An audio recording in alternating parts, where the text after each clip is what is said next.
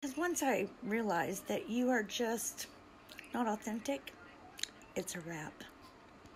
Because, uh, I think it's not Timmy, it's the other Timmy.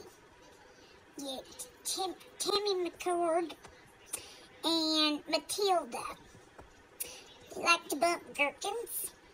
And um, they have their lips on Flavin's pee-pee. Because she had a big, long pee-pee, apparently. And they like to play, diddle each other's vaginas. Then this fool, Tammy McCord, my name's Tammy Everhart, not McCord, but the Edgar Tammy, the, the, you know, large and in charge Tammy, wants to text me. I didn't text you. And then try to play like I'm harassing you. Can't wait till I get that other device to show what a douche canoe you are. Plenty of no fish. And then, boy, howdy, I look up the state of Alabama as far as conduct for an attorney. And it states pretty darn clearly, you know, expectations of conduct, um, both personally and professionally. Imagine that. I'm not com- making somebody aware of your conduct. It's not coming for your job. It's just my civic duty.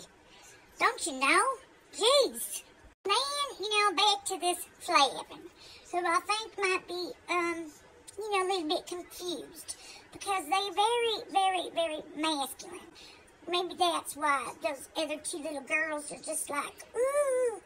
But that one and Scarietta, take a seat. I don't know what your point was behind all this besides making some freaking conspiracy theory freaking um bunch of shit up, but you asked for it, you gon' get it. Christian LeBlanc, uh, Sammy Winchester, whatever the hell.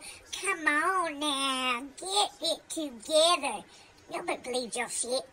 Gary Anna, for the for the for the love of sweet baby Jesus. Didn't you have animals removed from your possession? A serious but honest question for a friend, because inquiring minds would really, really, really, really love to know.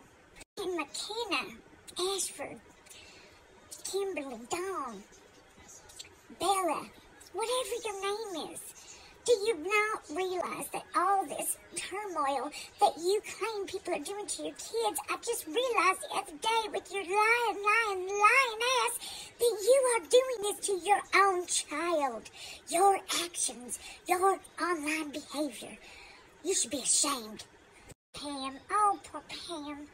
Seriously, I genuinely do feel bad for you because you are not all there. And I hope and I pray these people don't take such advantage of you like they already have.